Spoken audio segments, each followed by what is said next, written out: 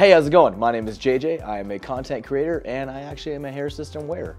All right, so some tips and tricks for dating somebody with a hair system coming from a male myself. Um, number one, share your conditioner. Share your leave-in conditioner, okay? We like to use that as well.